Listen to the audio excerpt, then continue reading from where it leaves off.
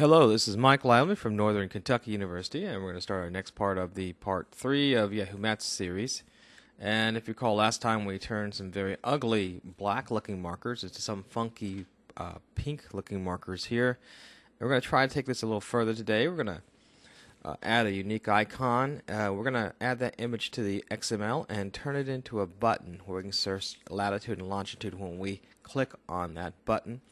Let's get to that. I had my graphic designer produce a few uh, images for me, and let's just copy and paste those into uh, our project. So I'm just going to copy these images right here. Great thing about Flex is you can just copy and paste directly into folder. I find that a great time saver. So let's go, go to our project. Here's our Flex project, and we have an images folder with one little uh, dot splat. Let's go ahead and paste our images in there.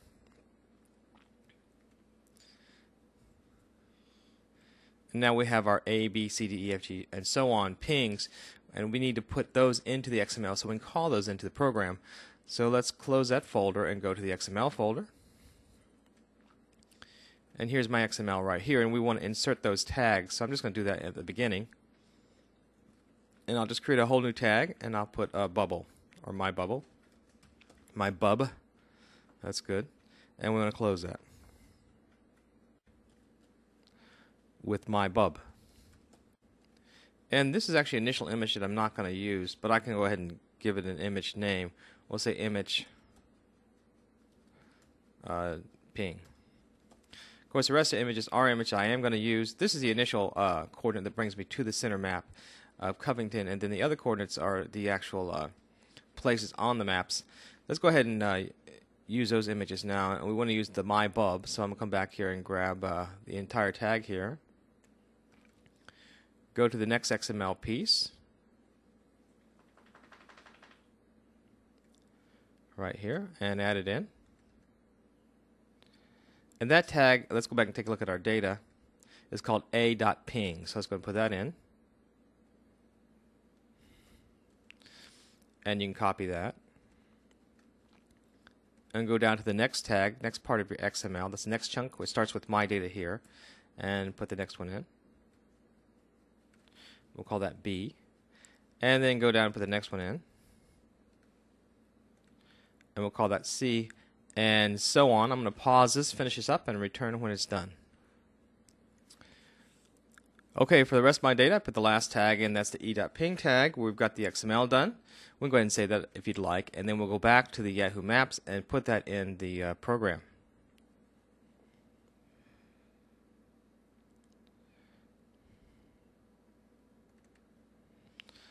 So we're back in Flex, and we need to navigate down to about line 80. I'm not sure where it is on your program, but it's about line 80 on mine. And you can see this marker, new custom marker, is bringing in an image from the images folder called dot underscore splat. I actually want to bring in uh, the right um, image. And so what I'm going to do is I'm going to go underscore. We're actually going to bring that in from my array collection. And if you recall the name of my array collection, let's go back up to the top is AC video. So let's come along here, take that array collection, and uh, it will be coming from the images folder. So I need to add the images uh, tag to it. I just hit a plus sign and come along here and uh, just type in AC videos.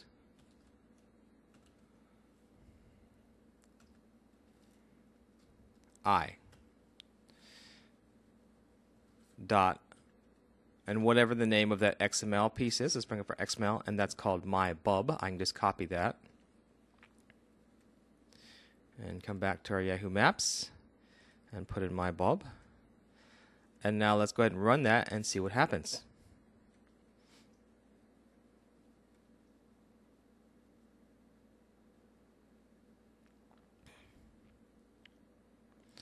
And so now when you look at my uh, map, I definitely am getting those distinct images. Boy, wasn't that really easy? Sure was.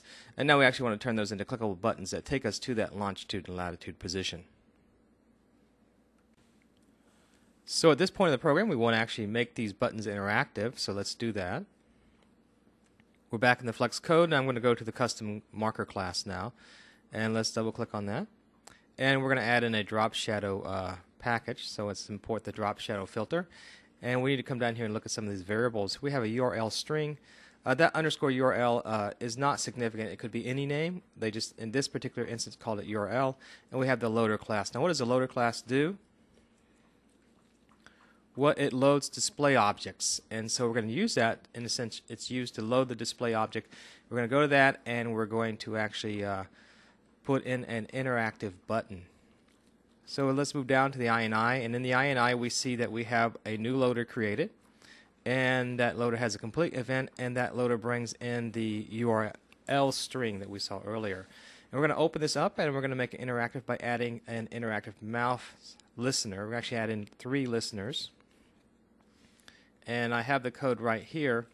We're going to add a mouse over, a mouse out, and a mouse up. So let me go ahead and copy this code right here.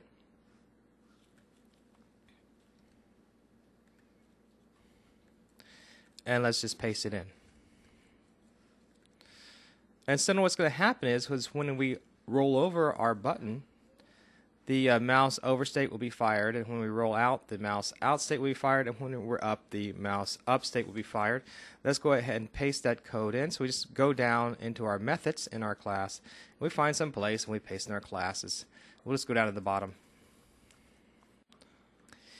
And I have my classes already written out, so let me bring up that text file. So let me come down here. And in my text file, I have my mouse over state that basically keeps it at scale 1. And I have my uh, mouse up state, which takes me to the mouse out state. Now, we're going to use that mouse up state uh, further on for other things. So it's just a container right now, in a sense. And here in my mouse out state, we have the scale being shrunk to 0.9, and we see that shadow event at 4. And let's go ahead and grab these three functions right here come down here. And let's just paste them into our code. So this is really very easy to do. It's just kind of a linear process. Nothing fancy here. Just a note here on this mouse overstate, you do see the introduction of this drop shadow filter, which we uh, imported earlier in this uh, discussion. So now that it's done, let's save it and see if we get any errors. You always get errors, so let's go ahead and run this and cross our fingers and see what happens.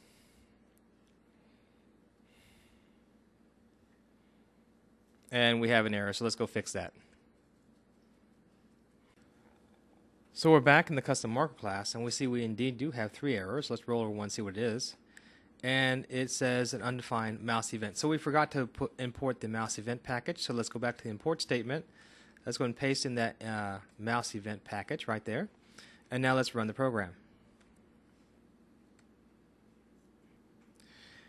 And we see that we do have our uh, buttons now, but when we roll over, a, a, shadow does appear, and roll off, it doesn't. But that initial shadow is not on the button, and that's a little bit disturbing. When I roll over and roll off, it leaves the shadow behind. And what I want to happen is that shadow to be initially there, and I'm going to show you how to do that right now. So we're back in the custom marker class, and we want to add uh, a drop shadow uh, to the uh, program initially so it doesn't surprise us when we roll over it. And you can see at the uh, initiation function, there's this loader, and uh, there's this handle load complete. And so when it loads, we want to add that drop shadow in that function. So let's go ahead and go down and find that function. So what we want to do is go ahead and go down to the handle load complete function and add in the uh, drop shadow component. Let's go ahead and go down and let's find that handle load complete function. Should be here somewhere. And there it is right there. Let's go ahead and add in our drop shadow component. And there we go, load the filters, and there's the drop shadow filter. If you want to learn more about this, go into the help uh, section and look up uh, drop shadow filters, and you'll learn everything we need to know about that.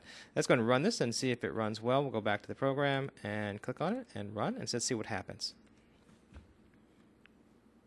And we can see now that we have that initial drop shadow on our button, so it's not surprising us when you roll over. There's an enhanced drop shadow, and the button actually increases in size, and you roll off, and the shadow goes away. So there you go. You're, you now have the ability to actually have a clickable button. And I'm going to show that to you real quick. If you go back to the uh, custom marker, we've set up the uh, whole mechanism for having that clickable button, and that's on the over and the up and the out states, and we're going to address that next time.